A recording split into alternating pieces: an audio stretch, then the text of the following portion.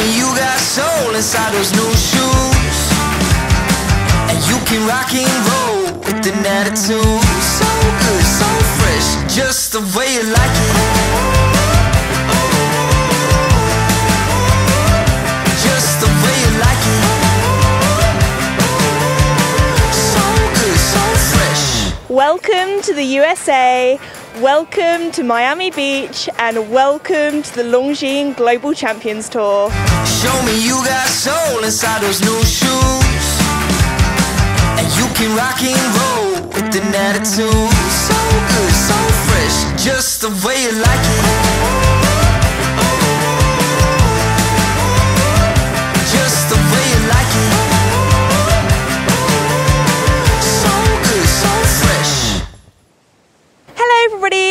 Welcome back to another video. Welcome to the USA. I'm currently here in sunny Miami, Florida, and you might be wondering, Esme, why on the beach? This is an equestrian channel. Well, what if I told you that this beach here today is being the world's largest arena because we have some top class show jumping here by the sea? Welcome to the Longines Global Champions Tour.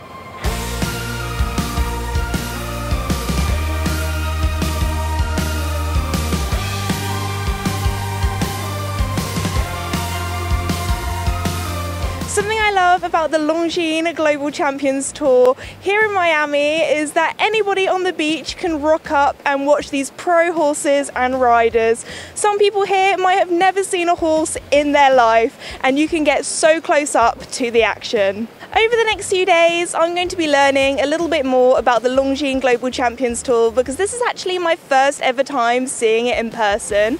I'm also going to be at the London event, so I'm really looking forward to that. I'm also going to be doing a meetup, so looking forward to seeing all of you guys there. But behind me, we currently have the horses and riders in their teams warming up, getting ready for the five star. Now, the best way I can describe the team event is it's a little bit like football teams. So we have horse and rider from different countries teamed up together in a group competing against each other. So they're currently warming up behind me, and the class should start any second. So let's go and watch the five star show jumping.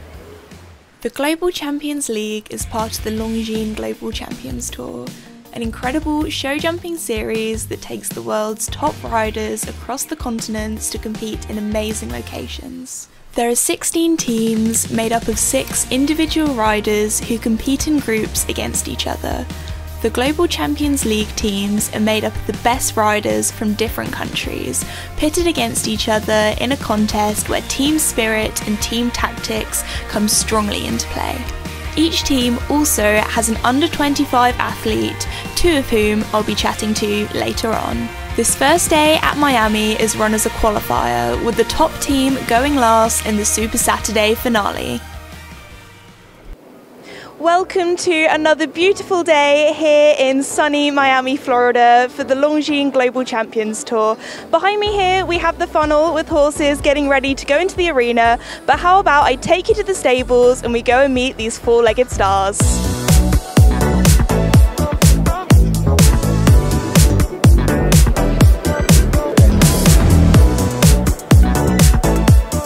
Just waiting for a horse crossing now. How cool is that?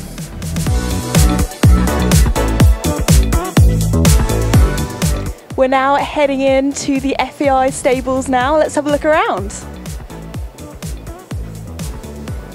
I'm currently here in the FEI stables, and the first thing I thought when I walked in was, oh my goodness, it is so nice and cool in here, especially compared to the Florida heat outside.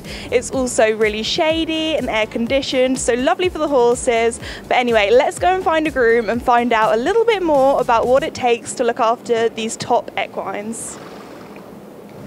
So I'm now here with Nikki, who is Geir Gulliksen's groom. So Nikki, tell me a little bit more about your daily routine here with the horses. What do you do first thing in the morning?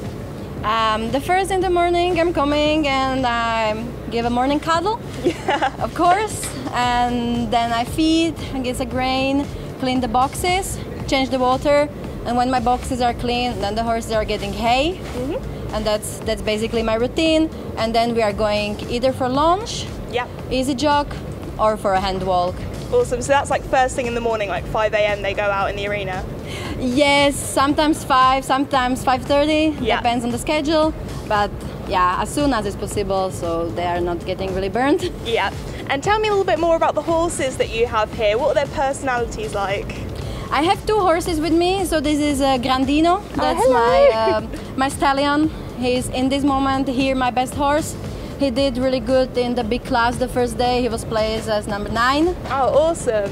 Uh, He's a stallion. So sometimes he can be really loud, Yes. but he is actually really easy to handle. oh, that's good. So I'm, I'm really happy with his personality because you can really talk with him. So Oh, he um, seems really sweet. Hello. yes, and You then I the have a little chestnut. It's a best boy.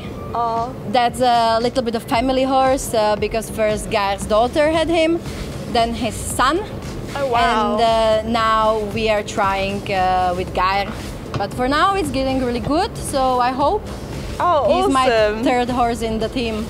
And how do you deal with going to lots of different countries for the Longines Global Champions Tour? Especially here in Miami, Florida, it's quite warm, it's quite hot. How do you keep the horses cool? I think we really love to travel, especially Yeah. me. Yes. And uh, luckily, there is a really good team behind the global, so they are really helpful. And uh, my horses are living in Norway, Yeah. so they are used to travel a lot. And what is your routine with the horses after they've been ridden?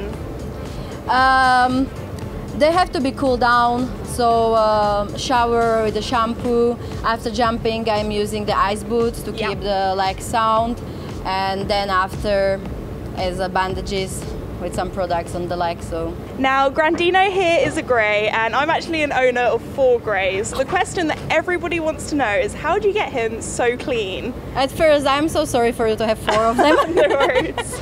I don't know how I've done it to myself, but I have. He he's a really he we call him Mr. Pig. Oh, yeah. Yes, and he will really love to roll down. That's I the first. need, yeah, I need to call my horses Mr. Pig as well because So- they are very dirty. yeah, but um, bath and bath and bath and the Yeah. good uh, shampoo for the gray horses. Yeah. Three four times in the day. That's Yeah. that's the way. oh wow, okay. Nothing else. That is that is dedication. I've got to say. yeah. Oh.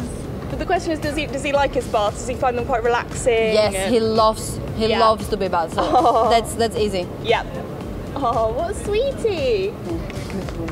So it sounds like you have a rather busy day, you know, getting up early, finishing late. How many hours do you reckon you do in a day then? How many hours has they having? Yep. a lot. a lot, a lot. No, we are sometimes uh, starting five, sometimes five thirty. Today I started at six thirty. So Oh, I a bit of a lion then. A yeah. long sleep. Yep. Um, sometimes I have to ride at 6 a.m. Yesterday we sit on the first horse at 6. Yep. And when we have an evening late class, so we are sometimes in the midnight still in the stable oh, because it Oh, wow. takes quite long time to give the horses everything they need. So they really have sort of around the clock care here. It's I, I wish they are paying me for hours. yeah. oh, well, they definitely look like they're having the best time here. Thank you so much for the interview and for Thank your time. you. Thank you so much. Oh, what a sweetie. Yeah, he's really nice. I'm now here with international show jumper Jack Whitaker. Now, Jack, you have had, you're a busy man. You've had quite a lot of success, especially um, the other weekend in Germany for the World Cup finals. How was that? Yeah, no, I had, I had quite a successful week in the end. I went, I went there with high hopes, obviously, but not much. Uh, I wasn't expecting to be anywhere within within a chance. And going into the final day, I'd been on the podium. So uh, yeah, no, I was happy with it. Oh, well, congratulations for that. We're now here in Miami, so you get around. What's it like to be at the show here? Yeah, it, twice. It's like it's just it's a show like no other. It's a it's completely mental to be honest. We're on the beach here in, in Miami. And how do you prepare your horses for an atmosphere like this? Uh, you can't really prepare them for atmospheres like this. Every horse is different. I, like I have one mare there, she's not taking to it very well. She's, she's not really settling down great. And the other lad, he's, he's taking it all in his stride. So he's just got to take each horse by horse, I guess. And tell me a little bit more about the horses that you have here. I have uh, Q Pavarotti. She's a she's a ten year old uh, bay mare. She's a fantastic jumper, but as I say, she's a bit she's a bit sharp on the head, and she's uh, she sees and hears everything. So there's a lot to see and a lot to hear here. So she's uh, so she's taken a while for her to settle down into it, but she's uh, hopefully she'll be fine by the Grand Prix. Now, obviously, you are an absolutely incredible rider to be competing here, but um, I actually asked on Instagram and there were thousands of questions. And um, what a lot of people ask is, what are you currently working on? Because, you know, not everybody's perfect. Yeah. No. Uh, what am I currently working on? Probably uh, trying to stay in time, time allows a lot more. I, had, Okay. I had a time fault in Leipzig, which really, I would have been on the podium if I didn't have a time fault. So that really, that was a big, big downer for me. So it's all about speed then. Yeah, basically. Um, but also, something that I think you might need to work on is Yeah. your concentration Yeah. phase. Yeah. Because I've been um, taking photos and videos of you here at the show, and um, yeah. But the thing is, when I'm jumping, I can do the smiling. You know, I can pull the nice face. Maybe not. Maybe the show jumping I need to work on. so we need to take a leaf out of each other's books. Yeah, yeah, Also, I've seen that you're quite big on TikTok as well. Have you been enjoying that? Yep, Thor- thoroughly enjoying it. I'm getting a fair bit of stick from my mates, but seems to be going well. So Gotta love it, gotta Yeah. love it. Um, and also, you come from a family of show jumpers. Have you always wanted to do this as your job? I mean, it wasn't always. Uh, that's, yeah, from a young age, obviously, yeah, but it was. Uh, it wasn't what. It was never forced upon me. It was something that just naturally happened, and I'm, I'm glad it did. Awesome. Well, thank you so much for all your time and best of luck for the rest of the show. No worries. Thank you. I'm now here with international show jumper Lily Atwood. So, Lily, you compete for the Stockholm Hearts and um, you're actually going to be competing later. How does it feel being on a team? But also, you know, this is your first um, Longines Global Champions Tour. How does it feel to be here in Miami? Yeah, it's amazing. Uh, starting off with obviously an incredible venue, right by the sea. Being on Stockholm Hearts is great. You know, I've got a good team with so many people around me who can support me, and I'm definitely going to learn a lot this year. And tell me about your other teammates, the horses. What horses do you have here today and what are their personalities like? I have two chestnuts, uh, Horton and Ginger. Ginger's a chestnut mare. She's a real chestnut mare. Yeah, Uh, will bite you all the time. a bit of a cheeky one then. Yeah, she's but she's such a fighter in the Yeah. ring. And Horton, he's cheeky, but he's quite spooky, so he needs to, you know, get into the atmosphere a bit and adapt. Especially here in Miami, there is a lot going on. There's people playing football, there were some paragliders going over. How do you prepare your horses for such an atmosphere like this? But I don't think you really can. I think it's a big shock for us riders and the horses, and you know, just try and show them as much as we can and get them really relaxed and happy in the atmosphere is all we can really do. Go out there and be confident. Yes, yeah.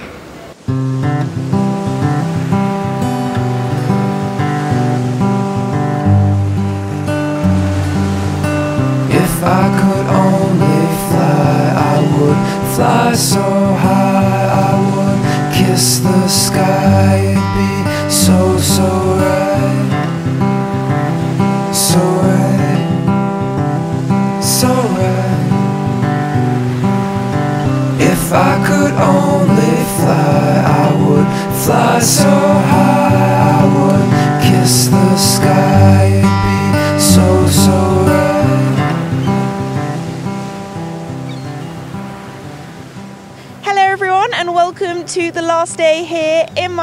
Florida for the Longines Global Champions Tour. It's a little bit windy today.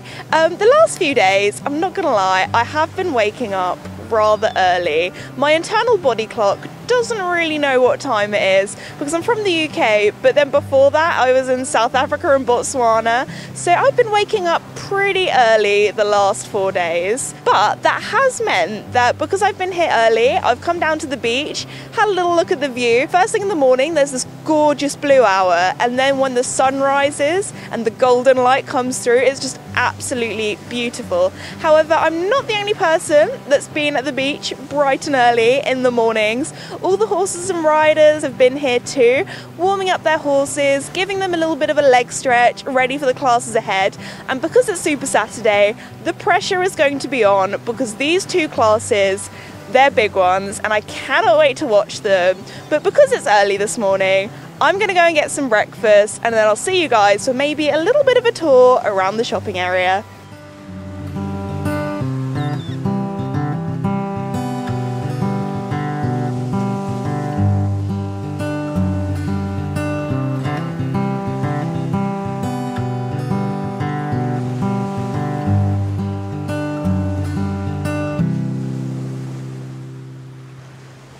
Sun is now high here in Miami, and I thought while I'm here, I'd take you guys on a little behind the scenes tour around the horse show here for the Longines Global Champions Tour. So, to the left of me, we have this sort of horse passageway pathway, and that leads down to the stables that we've already been to.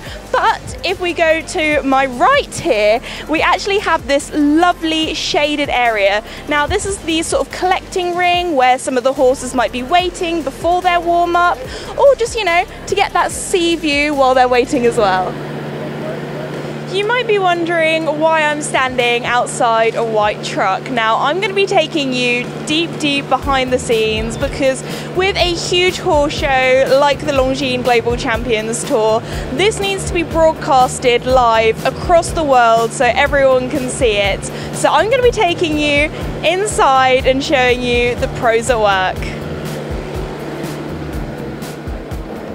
All right, welcome inside. I'm going to be a little bit quiet because I don't want to disturb anybody, but if we come round, the best way I can describe it in here, it feels a little bit like I'm at mission control. There's at least about 12 people in here, so we have the producers, we have the directors, um, everyone has little mics on, so they're talking to the camera crew, making sure that the right thing is being filmed and is on screen, because this is all for GCTV. So if you'd like to watch any of the other shows live, then be sure to watch it there. But oh my goodness, how cool is this?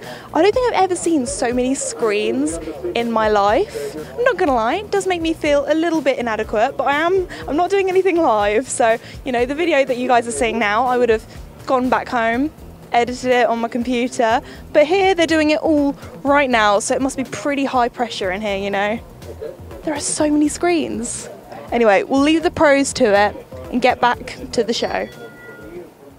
We're now out into the sun, and I've got to say, in that shade, it was a lot cooler. But we're now by the main warm up area here. We have some of the horses and riders getting ready for their next class. But let me take you around the corner because there is a lot more to see.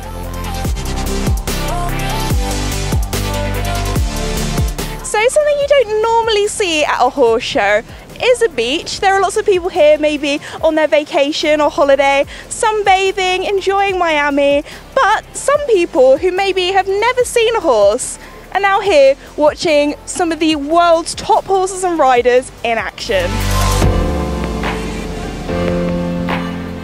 We also being at a beach, have a lifeguard here too. Something else that you might not see at an ordinary horse show. But how cool is this? I still cannot get over the views here in Miami. It is just everywhere you go, it is breathtaking and beautiful.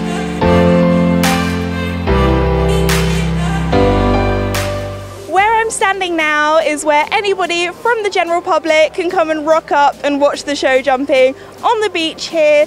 But also there's a course walk going on behind me and we have so many famous faces from Laura Kraut to Ben Maher. But also look how close I am to these fences. It feels like I can almost touch them. I'm only a few meters away. But if you think the view here is incredible, let me show you this next one because we're going to the top of the stands.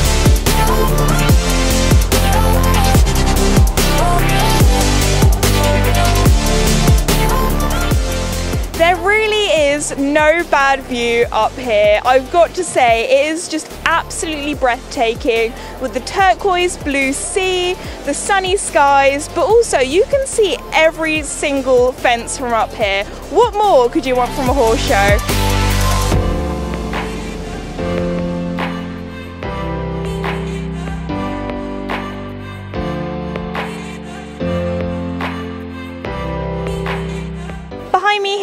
Have the athletes currently walking the course ready for the Longines Global Champions League. So we have all the teams together, some walking together, talking about tactics, how they're going to approach some of the fences. We have the crowd waiting eagerly. Let's go. Holding your breath still, you jump the fire. We'll just sit and wait till catch me for it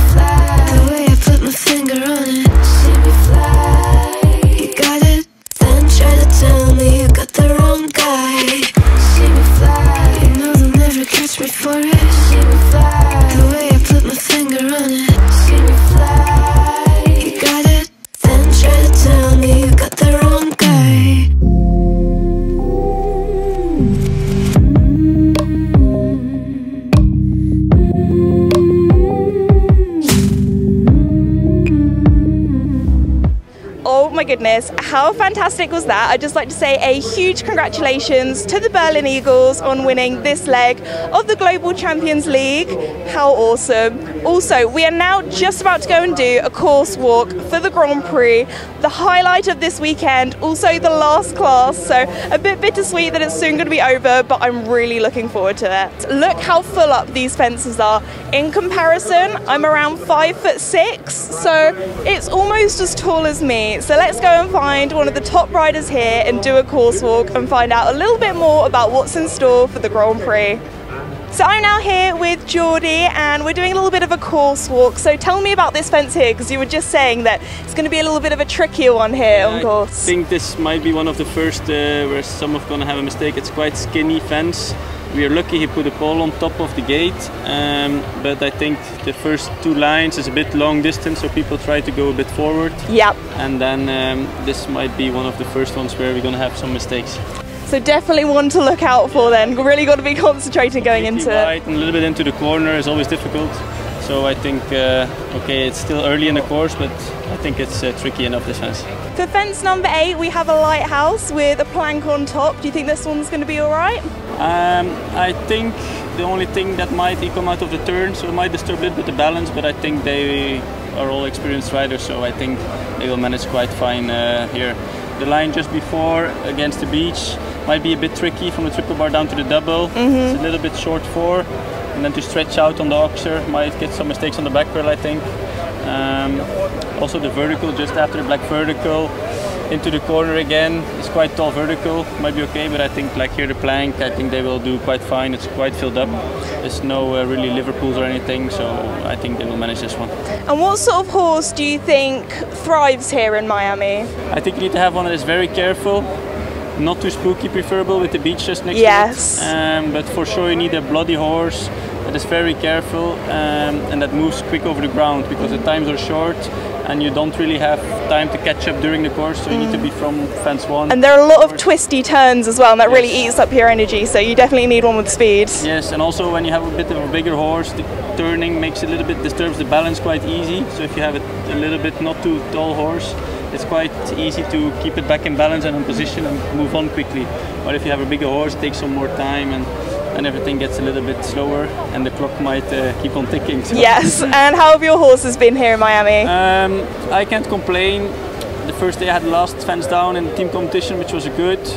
And then I jumped uh, chestnut again in the team competition today, not for the team. Um, and I had one down and some time faults. I started a bit too slow from straight away from the first fence, and it got a bit expensive in the end. Um, but okay, it's my first global, so I'm not too unhappy. And then now I'm just, uh, I think, first or second out for the Grand Prix. So I'm gonna have to uh, be patient for Mexico and uh, give everything there. Oh well, best of luck with that. Thank you so much for your time. No, no worries. Thank you. Before the Grand Prix starts, I thought I would show you the size of this triple bar because it is a wide one, but also I thought I'd show you the crowd because they are only a few feet away from this fence, eagerly waiting the next class. Whole squad wearing all black, motivation's looking real bad. Huh? We back to the bone, raising a fire alone. We never needed nobody. Give me six feet, this is my party. Ain't got no feelings, we heartless. Take a peek inside the darkness. Blow up the spot, then we run it. Ready or not, here we coming.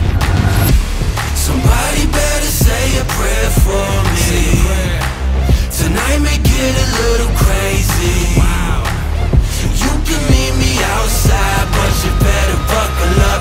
It's a wild ride. Welcome to the wild side. Welcome to the wild side. Wild, wild, wild. Welcome to Oh my goodness, what an absolutely incredible last couple of days. I'd just like to say a huge congratulations to Katrin Eckermann on winning the Grand Prix.